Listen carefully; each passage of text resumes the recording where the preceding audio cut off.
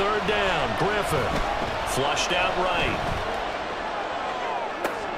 And this is going to be intercepted.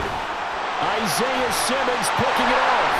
And the Chargers are going to get it back here just past the 35. Well, they were in a great position to take the lead, Charles. Obviously, all they needed was a field goal to do that.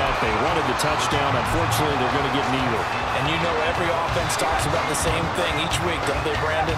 They want to end every drive with a kick, whether it's a field goal attempt, a point after the touchdown, or worst, a punt. This time they had that opportunity but didn't get it because you know the field shrinks that close to the end zone. And that allows the defense to tighten up their coverage, and they pick that one off. Here we go. Set.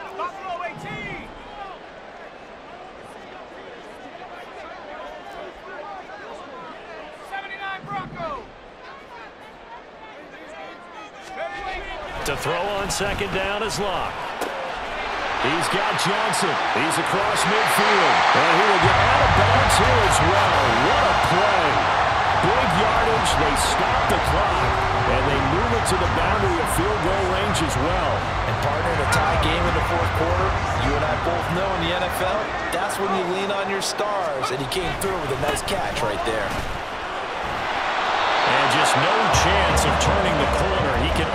Back to the line of scrimmage.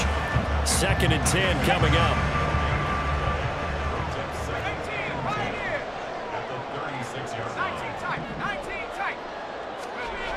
Luck.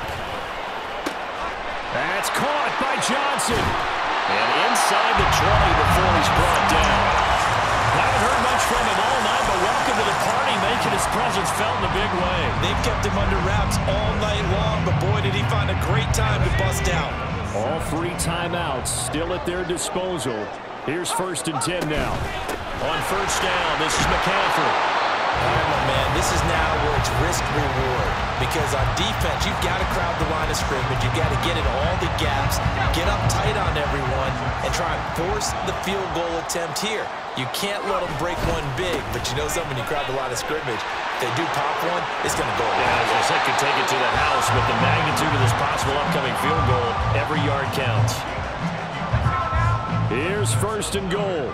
All right, I got to ask you, with these RPOs, essentially the quarterback has three options, right? So what's different from that versus the triple option that we see the service academies run at the college level? As a general rule, the triple option at the college level, most things are called outside of the quarterback faking it to the runner and then keeping it himself and maybe having a trail back. What I mean is, in the NFL, that option to throw the football all comes about organically. It's a natural deal based on reads. In college, if you're going to throw the football for triple option, you've actually called that play.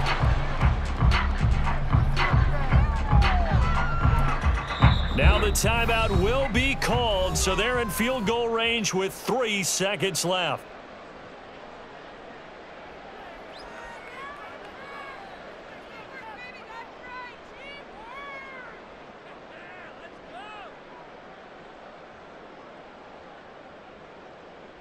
What pressure as this thing all rests on the foot of Daniel Carlson. And a timeout comes in. The whistles blow with three seconds remaining.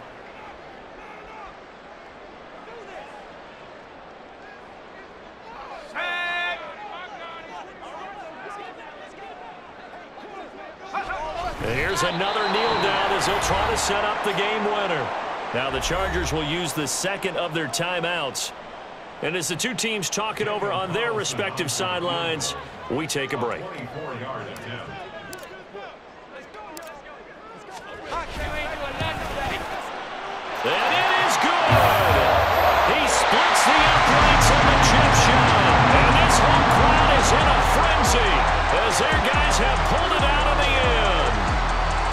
This one's over. It's in the win column for the L.A. Chargers. Well, on one side of this, Charles, an impressive victory. On the other, I mean, you think about it, they scored in the first quarter, but then they didn't score in quarters two, three, or four. They're going to have a lot of work to do before stepping back on the field. Yeah, it'd be an interesting tape to